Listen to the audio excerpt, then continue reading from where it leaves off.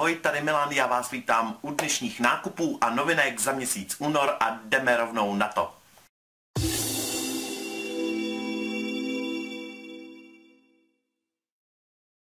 Ku podivu toho nemám zas až tolik, což mě překvapilo, ale stále toho je docela dost a myslím si, že to opět bude 30 minutové video, ale já myslím, že už jste zvyklí, že vám to vůbec nevadí. Nejprve bych vám asi ukázal produkty nebo přípravky, které jsme si pořídili my, nebo který jsem si pořídil já, a pak bych vám ukázal nějaký balíčky třeba, který jsem dostal, buď jako dárek, anebo jako v rámci spolupráce. Začnu tady tím bělícím pudrem zubním, já už jsem ho dříve měl, tenhle ten kupoval Jarda, je teda takhle v takové dozičce a já jsem s ním dříve byl docela spokojený. Jarda furt na něj pokukoval, furt říkal, jestli si ho má vzít nebo ne.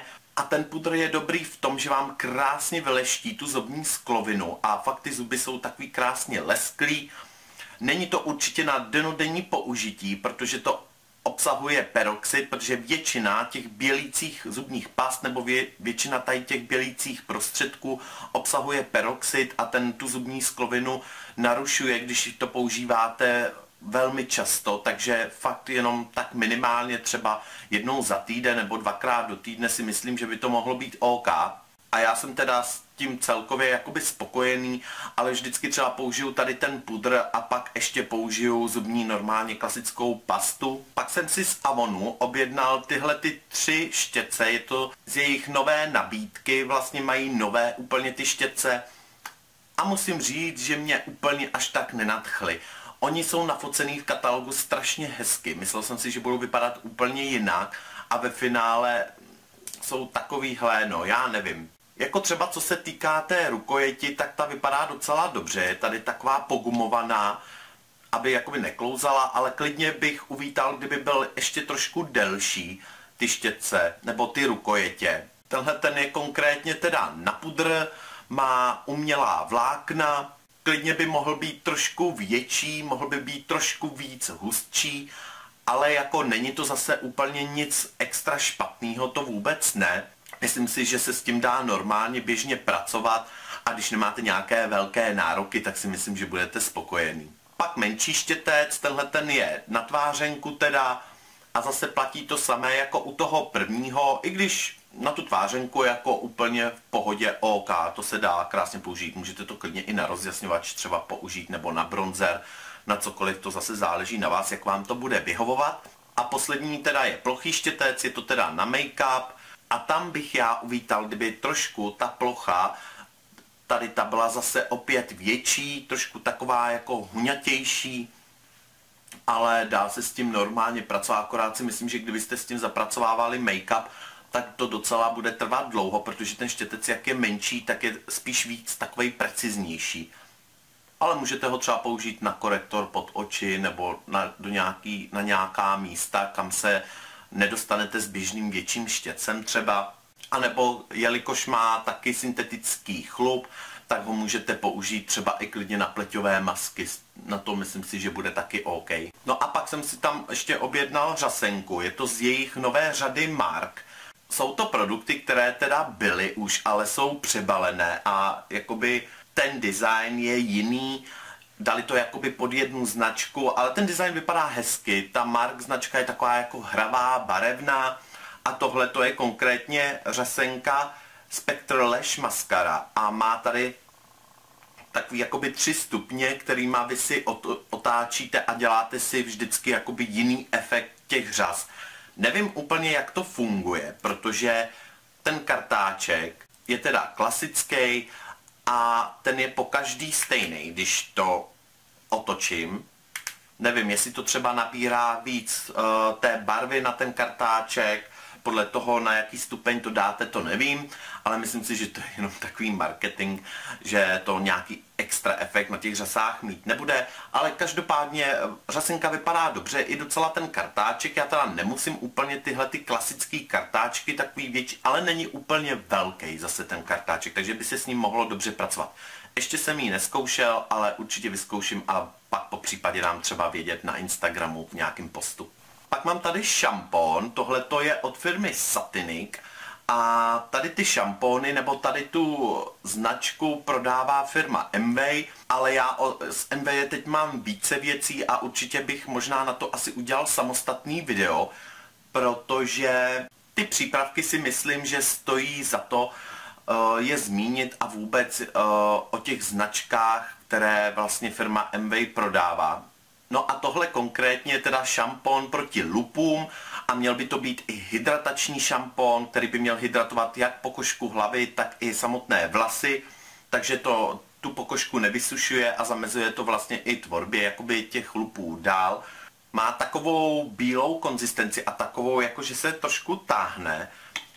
A mě to hodně konzistencí i trošku tou vůni připomíná klasický Head and Shoulders, tak uvidíme, jaký bude, jestli bude lepší než Head and Shoulders nebo ne, protože ta cena je teda úplně někde jinde. Tenhle ten šampon stojí asi přes 300, nebo tak nějak, já už si to nepamatuju. Jeho teda 280 ml, zatím jsem ho použil opravdu asi jenom dvakrát, takže nemůžu říct, uh, jestli jakoby vidím nějaký efekt nebo ne, to se určitě dozvíte pak za díl třeba v článku na blogu. No a pak mám tady plátinkovou masku, já nevím, jestli to na vás nedělá zrcátka. A tohle to je od firmy Artistry, také vlastně z MB a tohle to je z jejich řady Hydra V. A je to plátinková maska, teda s kyselnou hyaluronovou mám pocit a s nějakým kolagenem, to úplně přesně ještě nevím. A výhoda, co mi bylo řečeno, tahle masky je, že vy když ji použijete, tak pak ji stačí zase dát zpátky do toho sáčku, do lednice a můžete ji až třikrát použít, takže to není na jedno použití, takže to je fajn. A já jsem zvědavý, jaká bude. Měli jsme vlastně dvě a jednu už zkoušel Jarda a byl spokojený s tím a já jsem ji ještě neskoušel, tak uvidím. Je to teda jinak Moisture Mask. A teď už se pomalu dostáváme k dárečkům teda. Já jsem dostal tady tu tekutou rtěnku od NYXu, je to ta jejich Liquid Suede a já ji mám v odstínu 04 Soft Spoken a je to krásná taková hnědo, růžovo, fialová barva, nebo takový odstín, takový fakt moc hezký, takový jako tmavší než eh, jakoby uh, vlastní rty, takže taková tmavší nude bych řekl. A co se týká konzistence, tak super, na těch rtech je příjemná, ona úplně teda nezaskne do matna, nebo aspoň když já jsem ji zkoušel, tak nezůstala, uh, nezasychala do matna, ale někomu vím, že prý zasychá do matna, takže se no, i obtiskává ale vydrží úplně v pohodě, prostě dokud nejíte nějaký fakt mastný jídlo nebo tak, tak vydrží celkem dlouho. Akorát jediné, co mi docela vadí, je ten aplikátor, který je teda takhle poměrně dost dlouhý a mě se s ním moc, jakoby ty rty dobře nevykresovaly s tím dlouhým aplikátorem. Určitě bych uvítal spíš kratší nějaký a takový více šikmen třeba. Pak tu mám takhle levandulový sáček, úplně to voní i na dálku a je to sáček vlastně, který jsem měl v balíčku se svíčkami z e-shopu Demdako a to je super třeba právě do skříně takhle mít sušenou levanduli, protože ono to i odpuzuje moly, i když my tady moly třeba nemáme, tak ale do skříně si ji asi dám, anebo ji dám babičce, protože ona dříve měla docela problém, že jí tam lítali v šatně vlastně moly, takže jí by se to hodilo a navíc je to i hezky balený takhle. Pak tady mám valentínský balíček od Avonu, který mi přišel, já jsem si ho teda vyzvedával na poště až po Valentínu, ale on nějak přišel fakt asi den po Valentínu, prostě nebo já nevím, jestli tam byl dřív a pošta jenom nedala jsem oznámení a dala to nějak pozdě, protože pošta prostě to radši se nebudu ani rozmlouvat na tohleto téma. A přišlo to takhle v krásné, takové červené, papírové, ale takové tvrdé krabičce, kde vlastně je takhle takový dopis i jsou tam na dně taková plastová červená srdíčka a byly tam teda tři rtěnky z jejich nové kolekce. A první je teda v odstínu Conditioning Sherry a je to krásná taková tmavá, úplně rudá barvička, taková jakože vínová. Ty rtěnky krásně vonějí sladce, jakoby po bombónech a jsou krásně krémový, až extrémně hydratační, ale jsou fakt skvěle i pigmentovaný na těch tech sice nevydrží tak dlouho, protože prostě jak jsou fakt hodně hydratační, tak to není nějaká úplně extrémně dlouhá výdrž jako u nějakých matných hrtěnek, ale to se ani od tady těch prostě neočekává, jelikož jsou tolik hydratační. Další odstín se jmenuje Softy z Peony a je to fakt taková krásná růžovka, taková hodně jarní i letní barvička, tak na to jsem taky zvědavý, taky určitě vyzkouším a budu postovat určitě na Instagramu, takže mě tam sledujte.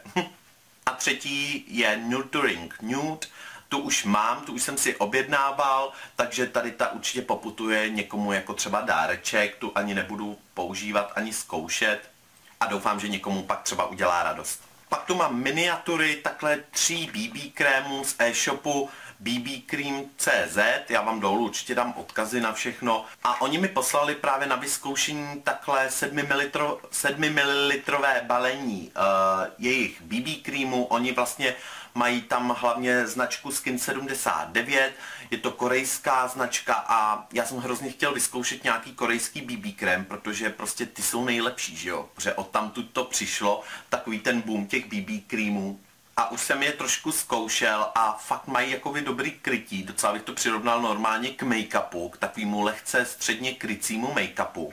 Jsou takhle v tubičce a první z nich, takový růžový pink vlastně, tak je to Super Plus Blemish Balm a je to Whitening UV Protector, UV Protecting a má to SPF 30 PA++, takže to má i vysokou ochranu proti slunci a je poměrně hodně světlý, akorát mě moc nevyhovuje, protože má potom do růžova. A já potom do růžova teda samozřejmě nemám, ale hodně světlým typům, který jsou fakt mírně třeba uh, růžový nebo mají mírně růžový poton, si myslím, že bude sedět, ale stejně ho vyzkouším na pleť, protože chci vědět, jak se bude na pleti třeba chovat a Bůh ví, třeba se tak nějak přizpůsobí a nebude to vidět, že to má takový poton. Každopádně určitě bude článek na blogu pak na všechny ty tři BB creamy. Druhý je takhle oranžový a ten má faktor 50 plus PA+++, takže to je úplně mega ochrana. Uh, tenhle ten je fajn, ten má potom do žluta, je teda hodně světlý a ten jsem zkoušel teda už na pleť, akorát se mi zdálo, že jsem byl úplně bílej, jo. A možná to bude i tím vysokým faktorem, ale pak se mi zdálo postupem času, že trošičku se přizpůsobil a že už nebyl úplně tak světlý. Ještě ho určitě uh, vyzkouším několikrát, abych prostě přesně věděl, nechám si ho i na pleti díl, abych mohl pak napsat nějakou plnohodnotnou recenzi. No a třetí je zlatý a ten má teda faktor zase 30 PA++, a ten je taky, ten je spíš víc zaměřený ještě víc na vrázky, třeba je to anti-wrinkle, i když oni všechny jsou anti-wrinkle, tak tenhle ten je jakoby extra, spíš jakoby nazralejší pleť bych řekl a je teda taky trošku s mírným potonem do růžová, i když eh, trošku jde do neutrálu a ještě jsem ho na pleti teda neměl, ale taky ho určitě vyzkouším, abyste prostě opravdu fakt měli tu recenzi plnohodnotnou a tak, jak to sedí třeba mně, i když mi to ale nebude sedět, tak to může sedět samozřejmě někomu jinému. Každopádně na takový ten první dojem bych řekl, že jsou fajn ty BB krémy a že se dají normálně používat i místo make-upu úplně v pohodě. Tak, teď kdybyste něco viděli tady vzadu, tak to je Britney, ona má nějakou mazlivou teď dostala, takže tady vrdí jak blázen a chtěla by se mazlit. Každopádně jdeme dál a další korejskou kosmetikou nebo přípravky, které jsou z e-shopu koreankosmetika.cz a mám teda takhle dvě masky, které jsou opět plátinkové. První z nich je teda Energizing a je to fialová blueberry a přečtu vám, co se k ní teda píše. Je vaše pleť unavená a bez života? Blueberry Juicy Mask Sheet je dobije tolik potřebnou energií. Výživné složení obohacené o výtašek z borůvek, pleť hýčká a regeneruje, odstraňuje z ní škodlivé toxiny, léčí akné a zanechává pleť znatelně zdravou. Obsažené vitamíny A, C, D a minerály pleť vyčistí a rozjasní. Maska je vhodná pro citlivou a problematickou pleť se sklonem k tvorbě akné. No, jsem zvědavej tady na tu masku, jinak je to teda značka Holika Holika, kde vlastně mají uh, na tom e-shopu největší zastoupení tady té značky, nebo přípravku tady té značky. A další je takováhle žlutá, je to Revitalizing a je to mango. Vysoce výživné složení s extraktem z manga pleť hydratuje, rozjasňuje a zvyšuje její pružnost. Vaše pleť získá přirozeně mladší vzhled. Obsahuje vitamíny A, C, D a minerály z výtažku z manga. Maska je vhodná pro všechny typy pleti, které touží po revitalizaci. Tak na to jsem taky zvědavý, vůbec nevím, kterou dřív zkoušet. Každopádně jsem fakt na ně zvědavý, tady na ty masky. a doufám, že budou super. Pak mi poslali takhle vzoreček, je to teda gel čistící, je to soothing gel a je to z 99% z aloe. No a pak mám tady takovéhle vajíčko, vy jste to určitě viděli už na Instagramu. Je to taky od Holika Holika a je to pleťový peeling, teda, který je z vajec. Vevnitř vypadá takhle, je to úplně vtipný. Vy to normálně tady takhle otevřete a vevnitř je prostě samotný takový gel, který právě neobsahuje vůbec žádná zrníčka, což mě naprosto překvapilo a mělo by vám to právě šetrně a jemně udělat takový jemný peeling na té pleti. Já jsem to teda použil už asi dvakrát a tím stylem, že jsem si normálně navlhčil pleť, eh, spíš večer ve sprše třeba, dal jsem si trošku toho gelu do rukou a prostě normálně jsem masíroval pleť, jako když si ji čistím třeba nějakým gelem. Zpočátku se to zdá jako, že úplně nic, že to prostě jenom čistíte, ale ono pak jako začne ta pleť, že jí máte takovou, že vám jakoby drhne a musím říct teda, že když jsem se pak podíval do zrcadla, tak krásně to vyčistilo i normálně pory. Ne teda úplně jakože do hloubky, to samozřejmě ne, to nezvládne, ale pory byly znatelně fakt jakoby čistší a nebyly tak jako černý. No, fakt jakoby úžasný. Já jsem tady s tím přípravkem spokojený. A jsem rád, že to teda není žádný jako hrubý, agresivní peeling, že to je prostě i jemné k té pleti. A pak tu mám poslední balíček a to mám opět z e-shopu biotoskana.cz a jsou to přípravky teda zase značky Bioficina Toskana. A první přípravek je tady ten sprchový gel, který je relaxační a je z vůni levandule a tymiánu. Je to hrozně zvláštní vůně, ale fakt taková jemná, jde tam hodně cítit, docela ten tymián, jakoby, nebo spíš víc výraznější je tam ten tymián než levandule, což je zvláštní, protože většinou ta levandule všechno vždycky přebije. Jeho teda 200 ml, není to takový ten klasický gel, takový ten hutný, je to trošku říčí gel, ale bohatě stačí fakt malý množství a krásně s tím umyjete. Hlavní plus je to, že to je prostě přírodní stoprocentně a že na sebe nedáváte prostě žádnou chemii, takže to tu pokožku těla ani absolutně nevysušuje a opět zase další super prostě přípravek. Já nevím, ale zatím všechno, co jsem vyzkoušel od této skany, tak je úplně perfektní. Další je micelární rostok z červených bobulí, neboli micelárka. Zaujalo mě to, že to je právě stoprocentně přírodní a většinou žádná micelárka není fakt jakože stopro přírodní, to ne.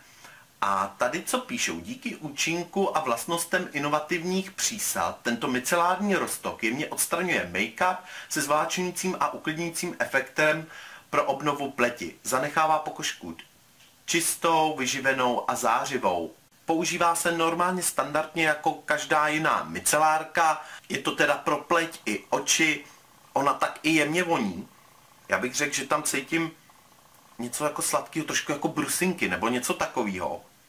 A je i ten uh, samotná ta barva toho přípravku je taková trošku jako naružovělá nebo načervenalá.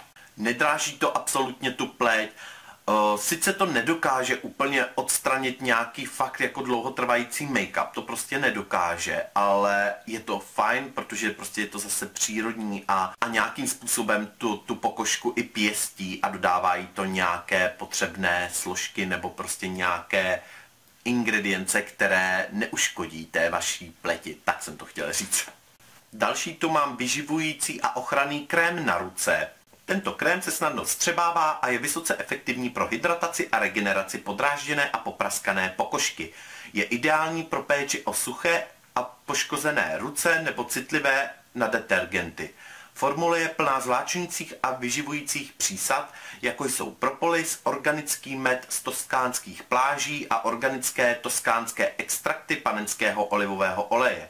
Díky tomu je to více než jen krém na ruce. Je to neocenitelný pomocník při ošetření rukou pro svou schopnost regenerovat kůži. Spokojenost s jeho účinností souvisí také s teplou vůní Petit Grain s dřevitými potóny. Je pravda, že ten krém má strašně zvláštní vůni, spíš mi to připadá jako nějaký bylinky. A je docela poměrně takový jakože hutný a fakt jako mm, pak prostě máte pocit fakt těch rukou, že jsou hodně jakoby vyživený. A si myslím, že to hlavně dělá právě třeba ten med, ten je takový hodně jakože vyživující. Ale nezanechává ty ruce nějak jako ulepený anebo mastný, docela rychle se střebá. No a já prostě fakt ty dřeviny jako, ale je to trošku i jako koření, mi to připadá tou vůní. Je to hrozně zajímavá vůně. Jeho teda 75 ml a stačí ho opravdu malé množství na ty ruce. Není třeba dávat nějaké velké množství. A posledním přípravkem je svěží deodorační květinový krém. To mi tam poslali jakoby navíc, co jsem si vůbec nevybral. Je to vlastně jako deodorant krémový. Paní mi právě z e-shopu psala, že je úplně perfektní a že opravdu funguje. Jedná se o první skutečně efektivní certifikovaný ekologický krémový deodorant, který vydrží celý den s čerstvou květinovou vůní.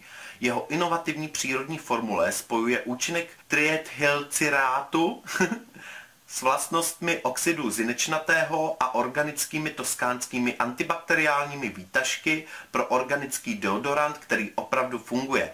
Také hydratuje pokožku. Triethylcitrát působí jako regulátor pH, což stěžuje bakteriím příčina nepříjemných pachů se připojit k vaší pokožce. Oxid zinečnatý má astringentní a sklidnící účinek. Tento krémový deodorant neobsahuje žádné soli hliníku, hliníkový kámen nebo alkohol, což činí jeho účinek jemným pro přirozenou rovnováhu vaší pokožky. Jeho lehká textura umožňuje snadné střebání. Já ho ještě vůbec neskoušel, jsem zvědavý teda jaký bude. Já ho vyzkouším takhle na ruku, je docela takovej hutnej a fakt, fakt voní jakože po kytkách, po květinách. A trošku je tam i něco svěžího. Zajímavá vůně. Fakt zajímavá. No a jsem zvědavý, jak teda bude fungovat, protože to mě hodně zajímá.